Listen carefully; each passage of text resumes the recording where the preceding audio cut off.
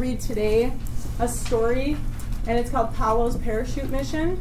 And just look and see what you see on the cover of this book. What does this say over here? An aerospace engineering story. Okay, so we all know Anne, A-N, and we all know story. How about, do you have any idea what type of work an aerospace engineer might do then? It might be engineers working in like um one of a space station. Okay, engineers working in a space station. So, Paulo is, is from the country of Brazil. Okay, where is Brazil? Look up here and tell me what continent do you think Brazil is on? Dallas. South America. So Brazil is this right here. It's this country down in South America. It's actually the largest country in South America. So we're going to read about Paulo, think about where he's from, okay? And I'll be stopping every once in a while and having you guys think about a few things as we um, as we're reading through it. But I really want you to be good listeners. All right. So chapter one is no place like home. Paulo peered into the last cardboard box in his bedroom. Hiding in the shadowed corner was his soccer ball. Paulo hadn't felt excited that afternoon. Now that he was sitting in their new kitchen, he still didn't feel excited. He didn't want to be in this new house, and he didn't want to make any new friends. Why would he need to? He spotted a box next to the corner of the house and peered inside. Gardening tools, a wrench set, and well, how'd that get in here? The object he pulled out looked like an old scrap of fabric. So what are you noticing here? What does he have in his hands? Raise your hand. Kira? A parachute. He held the paracatus up and then let it go, watching it drift slowly down to the ground. Why did your family move here? Lucas asked as they kicked the ball back and forth. For my parents' job. They're aerospace engineers, Paulo explained. Wow, they go into space? Lucas asked. No, they're not astronauts, Paulo said. Right now, they're working on a paracatus that will be part of a spacecraft, Paulo continued. Why, why do you think they're working on a parachute? When they're dealing with spacecraft, why do they need a parachute? Kira? Because maybe like when it's landing, they'll need something to slow it down. So, when the rockets land, something has to slow them down so they don't hit the ground too hard. So that's what Kira said. That's where the paracatus comes in. In Brasilia, my parents teach a whole course at the university about drag, air resistance. Here we are, Lucas said, a cupuaçu tree. Huge waxy leaves as long as Paulo's arms sprouted from the gnarled branches, making a bushy tuft at the top of the tree. The round, cream-colored cupuaçu were about the size of Paulo's soccer ball. So get that in your mind. You all know what a soccer ball looks like. Okay, that's the size of the fruit. Great, Paulo said. I'll just climb up and grab one, and then we can head back. The bark was rough under Paulo's hands as he pulled himself up the trunk. With a snap, Paulo broke the cupuaçu off the tree and held it in one hand. So what's their problem right now? Because they're starting to face a problem. They're trying to get the. What, what happened to it? It broke. Right? So we'll splattered and broke. And Ava brought up a really good word because what? We'll just kind of, we're going to put that in there because gravity took over. You know what we need, Lucas asked? Your paracatus. So do you think it's a good idea for them to use a, paracatus, a paracatus to get the fruit down? No. Yeah. Okay. If it's tough, if it's strong enough to, to be able to let it float slowly. If we design our paracatus well, it will help us solve the problem of getting the cupuaçu out of the tree without smashing. So you guys already came up with a big part of it. You found the problem and you identified that this is what we have to try to solve, okay? Later that afternoon, after brainstorming many different paracatus designs, Paulo and Lucas decided on one they thought would work well. How many of you think it's gonna work? Because they're up in the tree, they're getting ready. How many of you don't think it's gonna work? The first time when they tried with the rocket, the rocks in the bucket, what did they do afterwards when that didn't work? They what?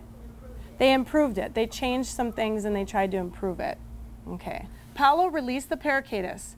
He held his breath as he watched the cupuaçu float down like a leaf in the wind.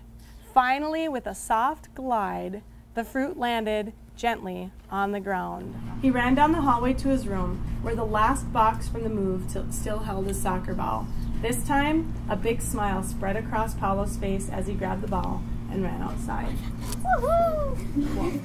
All right, so the first thing that I want you to be doing is thinking back to that drag, okay? So you're gonna think about a time when you felt drag, when you felt that kind of that air resistance, that air coming back at you or whatever it might be. Or you watched an object experience drag and you're gonna draw a quick picture of what happened in the box. All right, so just a couple of quick ideas. You might get inspired by somebody right now if you haven't thought of anything, and that's okay. That's good. That's part of the process as we get inspired. Explain us. Explain a little bit about what you meant by the confetti. Um, the confetti is thrown above. It it falls down very slow. Yeah, how, I never even thought of that one. I thought that's a great example when you throw that confetti up and it kind of falls slowly and drifts down, right? Um, Kira. When I was riding the bike and it was windy out. When you were riding your bike and it was windy out, and how did you how did you answer number? So the picture was you on a bike. What clues helped you realize that you were experiencing drag? Because it was hard to go forward. Yeah. So you were pushing. It was windy and the wind was coming at you, right? And so you're going forward and you're trying to push those particles out of the way, right? And so you could feel that kind of pushing on you. And it, did it make it harder or easier? made it harder work for you. Austin. Well, at my house, um, on my playset, I mm-hmm. jumped off something with a pair, well, um, with a sheet, um, and without one. Oh. And you go slower with, with the sheet. So when you jump with a sheet and without a sheet, what you go slower? It's probably probably not a, a lot slower. You wouldn't want to do that from a high yeah. spot. But what happens to the sheet? Um, that shows you. What are the like, clues? Um, blows up kind of. Okay. Bigger and um, since and the air gets kind of trapped in when you're going down. So um, when the, if the air is trying to push up, it just hits the other air and makes that you go down slower. Okay, so it goes down a little slower. So what was one of the steps in the engineering design process that Paulo and Lucas talked about when they finally started talking about making their Paracaidus? What was one of those steps? Harrison? ask questions. So we have to ask. Okay, that's a key thing. You want to know what the problem is, what are some things we can do to solve it, how has it been done in the past if that's the case. Okay, there's a lot of different things in there. What else? What is it made of, right? Um, what's the next one? Ava. I just know. Okay. Okay, so we're going to ask questions, we're going to plan it out, but before we plan, we have to do something else. Kira? We have to imagine. And then what do we start to do once we have a plan in place? Justin? Improve. Oh, well, before we improve, I'm going to put that up here. But before we can improve, what do we have to do first? Create. We have to create it. Or design. Create or design? Okay. We're going to call it create. So we're going to ask questions. We're going to imagine all the possible solutions and brainstorming. And this is when it's really nice to work together with people. And then planning, creating, and then this part is can be a lot of fun too because you come back and you're like, what can I change? That didn't work. The bucket of rocks didn't work. So they went back through the process and they did this. Now, this process is circular for a reason because they kind of go together, but you can go back and forth with them. Okay, as you're creating, you know, you're going to improve, you're going to go back, you're going to create again, but you still want to ask questions. After you improve, you're going to ask questions. So we kind of go around this in a cycle. Okay. I'm Corey Christensen. I teach third grade at Lake Elmo Elementary in Minnesota. I love this storybook because it's bringing up a situation of a student or a kid that has a um, he has something different about him, and I think that that's been really good for the kids to relate Um, and I think the story has been really good because it, it gives the, it gives kind of meaning to what they're trying to do in class. And I, I try to refer to it in the every day and throughout the time that I'm teaching bringing it back to that because then they can make the connections. I like that they were introduced to another culture too in, in lesson one um, because we were talking about a, a, student and his family from Brazil. And um, and so they were like they, they learned these new words and um, but they could see also that a student's life in Brazil, there was a lot of similarities to their lives that they experience every day too.